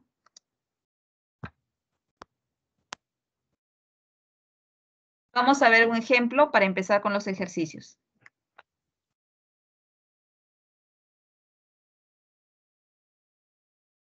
Ahí está. Siempre dibujen el plano cartesiano, ¿ya? Dice, dos barcos parten de un mismo punto. Entonces, el origen, ¿ya? De un mismo puerto, ¿ya? El origen es el, eh, en este caso, el puerto viene a ser el origen, el punto de partida, ¿ya? Este puntito de acá es el puerto, el origen, de ahí. Dos barcos parten de un mismo puerto. Entonces, este puntito es el origen, al mismo tiempo. El primero avanza en la dirección noreste, ya sea, noreste, o sea que se quería hacia el norte y se inclina dos alfa grados hacia el este. El ángulo, ya saben, parte del norte, ya está para este lado. Y el segundo dice en la dirección sureste, pero el ángulo es el doble. O sea que va a ser, va a ser un poquito más ancho, ¿no? El doble. Ahí está. Cuando el primero recorre 60 kilómetros y el segundo 63, la distancia que los separa es 87. Por el, acá no sabíamos dónde, ¿no? Pero ya me dijeron que es 60 kilómetros y este de acá 63. Por eso más o menos, un poquito más grande nomás la, este recorrido. Y dice que lo separa 83 kilómetros. ¿Qué sucede? Que estos números, ¿ya?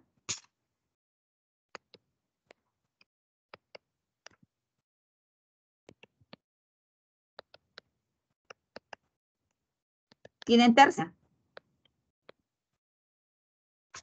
vamos a ponerlo al revés.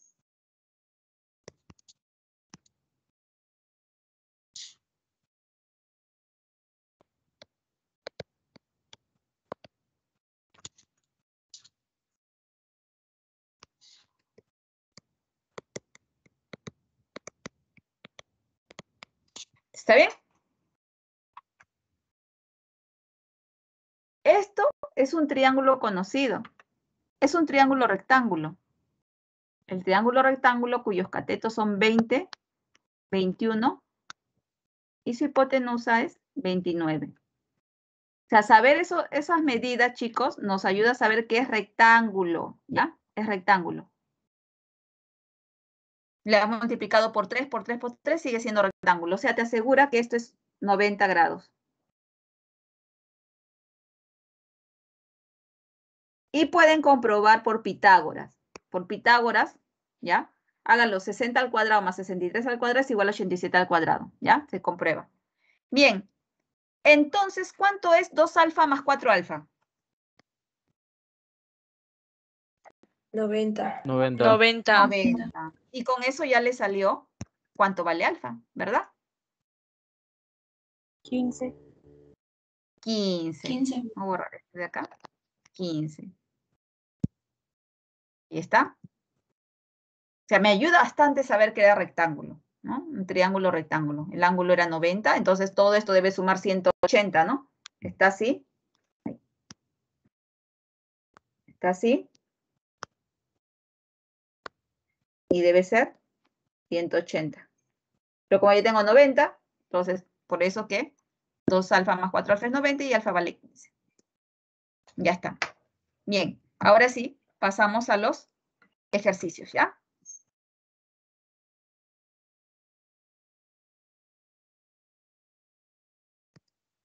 Ya dice, desde un puerto se observan los barcos A, B en la dirección noroeste 37 grados y suroeste, sureste 53, respectivamente. O sea, A, esta dirección, y B, esta dirección, pues respectivamente.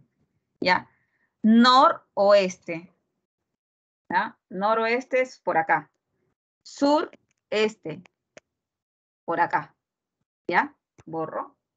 Solamente es para identificar. Y el ángulo, no olvidar, chicos, el ángulo parte de acá, 37, parte de acá, 53. Es muy importante eso. Te equivocas poniendo el ángulo por acá y ya no sale. Ese es el puerto y observa AA, 37 grados hacia el, ¿no? O al oeste. Y el barco B, 53. Los barcos A y B están anclados, ¿ya? O sea, estaban ahí, ancladitos ahí. Y ambos distan del puerto 200 metros, ¿ya? Están anclados, tranquilitos, están ahí. En un determinado momento, B levanta anclas. Este barco B levanta anclas y empieza a desplazarse, dice, hacia el oeste. Aquí otra vez se considera así el planito, ¿ya? Acuérdense, y dice, norte, sur, este, oeste, ah, ya, ha venido hacia acá, ¿ya? Ahora, si se viene hacia el oeste, tú podrías decir, pero ¿dónde se quedó? No me dice cuántos, solamente me dice la velocidad, que es 35 metros por minuto, pero no me está diciendo dónde quedó. Puede quedar acá, o acá, o más acá, ¿no? No se sabe ahí. Pero dice, se detiene y desde B se observa el barco A en la dirección noreste. Si el barco se hubiera parado por acá, miren, B no estaría en noreste, estaría en noroeste, ¿no? Lo mismo acá, o, incluso si está en la misma dirección, diríamos que está al norte, ¿ya? Para que lo pueda visualizar en la dirección noreste, ha, que, ha tenido que pasar por acá, ¿ya? Más o menos, ¿no? Hay que, hay que dibujarlo mejor, ¿ya? Pero esa es la idea. Siempre cuando no te dicen por ahí, ¿no? No te dice, ¿cuántos metros? No sé, o cuántos kilómetros, depende del problema, pero te dice que desde, desde donde quedó su posición final, puede observar a otro en tal dirección, ahí te está ayudando. Siempre hacer su planito. ¿ves? Por el ángulo formado, más o menos así. 37. ¿Ya? Dice, ¿durante cuánto tiempo ha navegado el barco? ¿Se acuerdan que estaba acá anclado? O sea, para saber cuánto navegó, ya tengo la velocidad, me piden el tiempo, necesito la distancia. ¿Ya? Necesito también la distancia. Pero acá, esa distancia no me la dan, pero yo la puedo obtener utilizando los triángulos notables, ¿ya?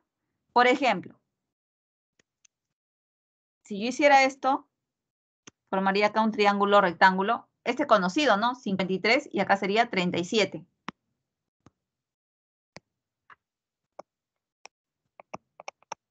Recuerden que ese triángulo, sus, ¿no? Acá sus, este, las medidas de la hipotenusa y los catetos son como 5, 3 y 4. Frente al 3 es el 37. ¿no? Frente al 3, el 37 grados. Y frente al 4, el 53. ¿Está bien? Y miren, la hipotenusa es 5. Entonces 5K, 4K y 3K. K es, ¿no? La constante porque lo, puedes multiplicar. Y aquí tenemos 200. ¿Quién es ese K? 5 por cuánto me da 200? 40. 40. Entonces, frente a 53 será 4 por 40. ¿Ya? O sea, 160. Ajá, 160. Por acá arriba, mira, si nosotros trazamos hasta acá, hasta acá, hasta acá, formo este triángulo. Todavía no sé cuánto es esta medida, pero a mí me ayuda esto. Porque aquí esto es 200. ¿Ven? Es 200.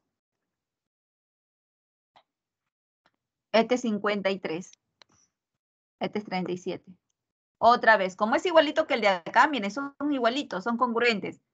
Frente a 37 va a ir 3 por 40, ¿sí? 120, ¿no? Vamos a ponerlo acá. Acá este sería 120, así. ¿Ya? Y acá también completamos, este también mide entonces 120. Y frente a 53 es 160. O sea que por acá abajito, ¿ya? Por aquí. Ya sé que esto mide 120. Bueno, ya voy sumando. Pero ¿cómo sé cuánto mide esto? Voy a cambiar otro color. ¿Cuánto mide esta distancia? ¿Cuánto? ¿Cuánto? ¿Cuánto? ¿Qué me va a ayudar? Me va a ayudar acá. Porque hasta acá era 160 y de aquí a acá era 120. O sea que este triángulo tiene por acá 280. Y es el triángulo, si acá es 37, acá es 53. ¿Sí? Frente a, frente a 53 era 4K. Este es 4 por 70. 70. Entonces este es 3 por 70. Y este es 5 por 70 para completarlo. Acá abajo mide 210. Ya sé la distancia. La distancia es 210 más 120 más 160. 490. ¿Está bien? Y para allá la distancia, si la distancia es igual a velocidad por tiempo, el tiempo que es lo que me están pidiendo va a ser distancia entre velocidad. O sea, 490 entre, entre, entre, entre 35. Voy a borrar, voy a borrar, ¿ya? A veces se amontona, voy a borrar, ¿ya? Y eso sale 14. Dividan 490 entre 35. Vamos a, pasar acá en limpio. Ya saben de dónde. Ya saben por qué sale 120 y 160 acá, miren. 120 y 160. Yo lo puse acá abajo. Yo lo puse así. Yo hice así y así. Y me salió este 120 y 160, que es lo mismo. ¿Ya? También igualito. Me salió 160. Ahí está. Sino para, por el espacio, ¿no? Y me salió 280 también acá. 210. Y ahí está. Bien. Vamos al ejercicio 7.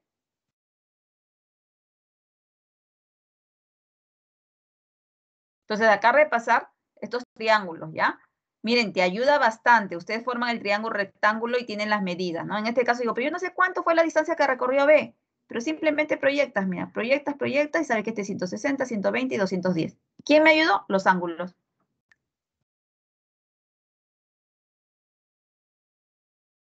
Ya, tres barcos están anclados en alta mar y el puerto está ubicado, en, y el puerto, ¿no? Los tres barcos anclados en alta mar y el puerto están ubicados en los vértices de un cuadrado. O sea que los tres barcos, la posición de los tres barcos y el puerto forman un cuadrado, ¿ya? Porque es el vértice, son los vértices de un cuadrado. Si el barco que se encuentra más al este del puerto es observado desde el puerto, observado desde el puerto, entonces el puerto es mi origen, ¿ya? Este es el puerto. El más alejado al este, ¿no? Ustedes saben que el este está por acá. Pero el más alejado ¿ya? Puede estar por acá. ¿Ven? Es observado en dirección noreste 55. Ahí está. Este es el ángulo, ya saben, del norte, ¿no? Parte de acá el ángulo. Ya. Dice, ¿en qué dirección se observa el barco que está ubicado más al norte del puerto? Más al norte puede estar acá, acá o acá, ¿no? Pero este es el norte para el puerto. ¿Ya? Dice, ¿en qué dirección se observa el barco que está ubicado más al norte del puerto desde el barco que está ubicado en el vértice opuesto a dicho barco? Si el barco está por acá, hay un opuesto. Entonces debe estar más o menos por acá porque saben ustedes que es un cuadrado, ¿ya? Esa es la idea. Entonces, lo ponemos por acá y vamos a formar un cuadradito. Ahí está. Bien, ya sé que por acá va a quedar el puerto. ¿En qué dirección lo observa? De aquí hacia arriba. Ese es el barco opuesto, lo va a observar. Necesito hallar ese ángulo, ¿no? Está ahí. Pero ustedes saben que en un cuadrado, si ustedes trazan las diagonales, ¿cómo, ¿cuánto es la medida de este ángulo? En un cuadrado. 45. 45, exacto, es 45, ¿ya? Acuérdense que este es 45, así, este es 45. Acá también esto es 45, ¿no? Así, ¿ya? Vamos a animar acá, ya. Es 45, este también es 45. ¿Sí? ¿Y cuánto es este ángulo entonces? Que estoy marcando acá. ¿Se puede saber o no?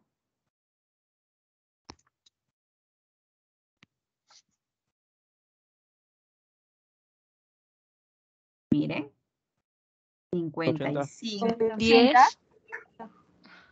80. Ahí está, miren. 55 más 45, 100 más 80, 180. ¿Está bien?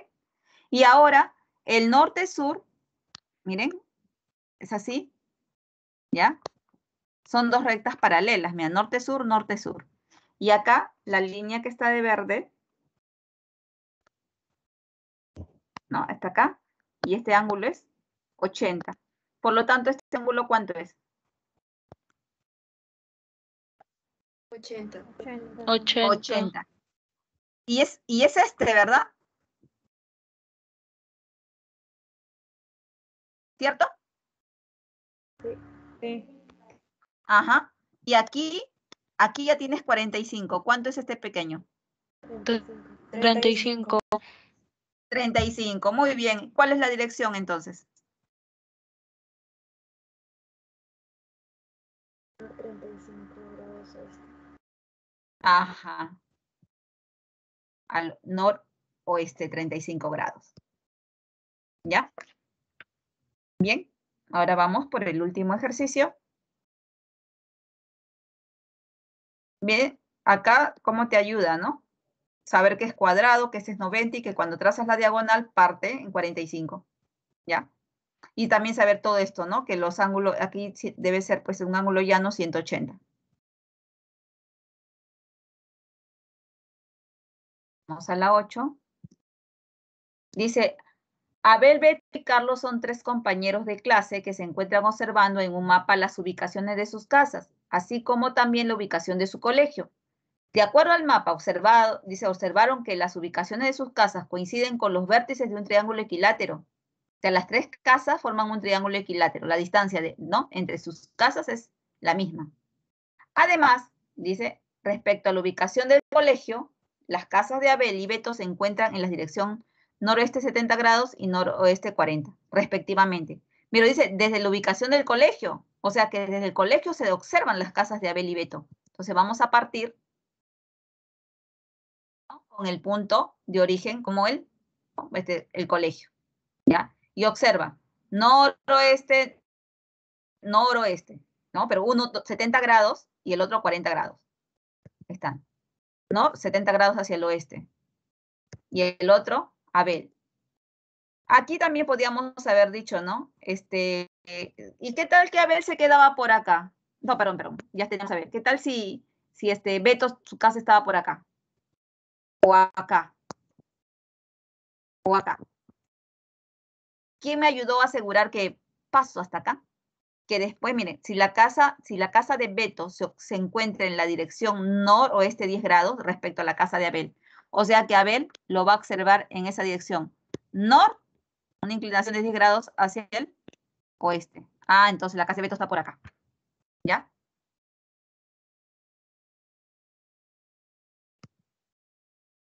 Ya, ese aquí estaba, cuando decía, ¿no? 70. Nor, 70 grados hacia el oeste y Nor, 40 grados hacia el oeste para la casa de Beto. Está Beto. Y luego observamos la casa de Beto desde, desde la casa de Abel en dirección y este ángulo es 10. ¿Ya? Bien. Luego dice la distancia entre la casa de Beto y Carlos es de 2 kilómetros. ¿Ya? Pero recuerdan ustedes que Abel, Beto y Carlos habían averiguado que sus casas ¿no? formaban un triángulo, de sus casas formaban un triángulo equilátero. ¿Está bien? Pero hay, ¿yo por qué ponen ahí a Carlos?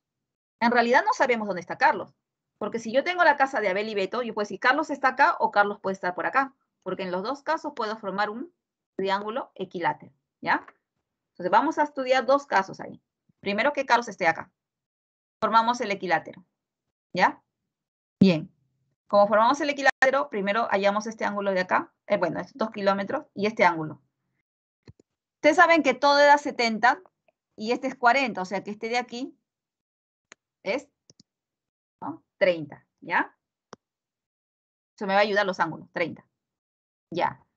Pero como este ángulo es 60, entonces este ángulo de acá, ¿se acuerdan? Cuando tienes un triángulo, este ángulo más este ángulo es igual al ángulo que está acá. Y uno puede decir, pero ¿cómo yo sé que esta línea es continua? Así.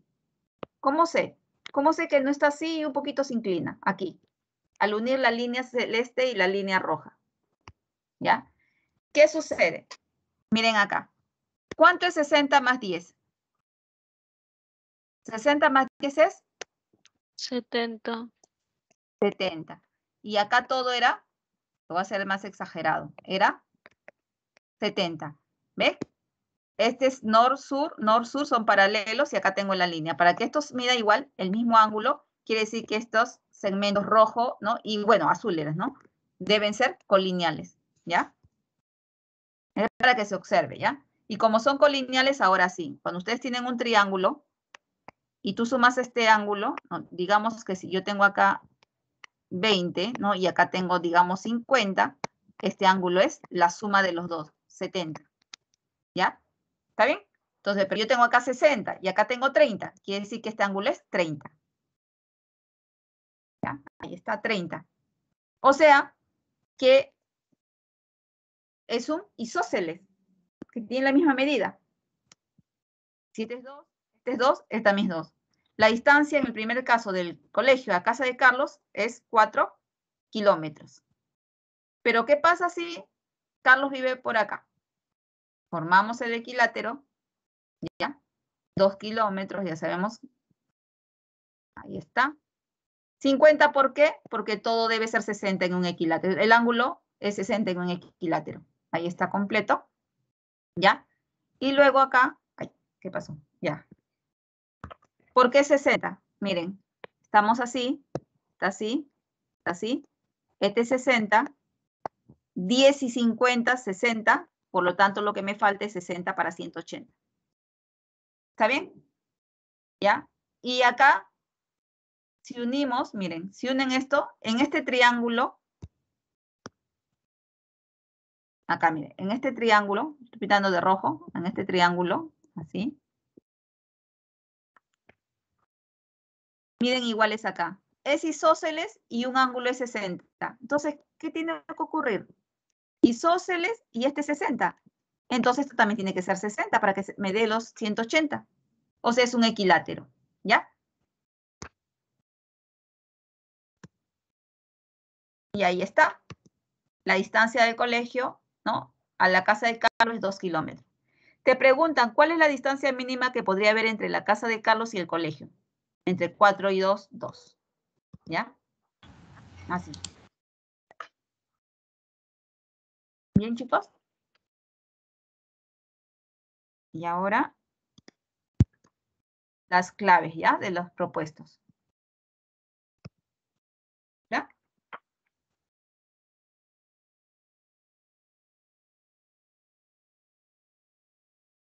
¿Está bien, chicos? ¿Hicieron captura? Sí. ¿Retrocedo alguna pregunta o todo está para dejar de compartir?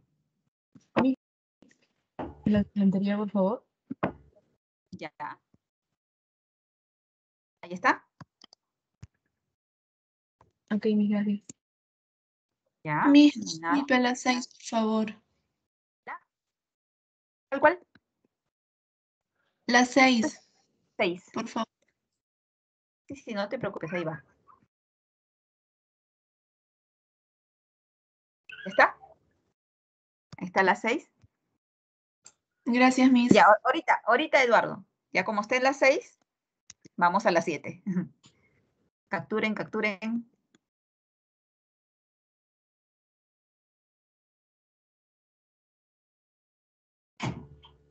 Ahí está.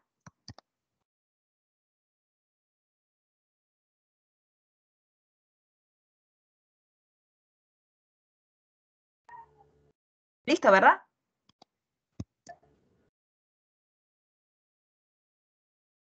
Bien, chicos. Entonces terminamos. Gracias por su atención y su participación y hasta el próximo miércoles, ¿ya? Practiquen y repasen los ángulos, los triángulos, como han visto acá, notables, ¿ya? Que se presentan siempre en estos problemas de puntos cardinales. ¿Está?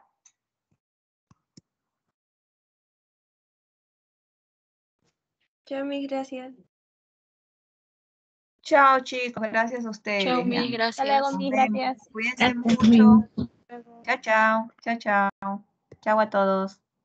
Ay, chao. Ahí está Sofía, Eduardo. Chao, chao. Muy bien.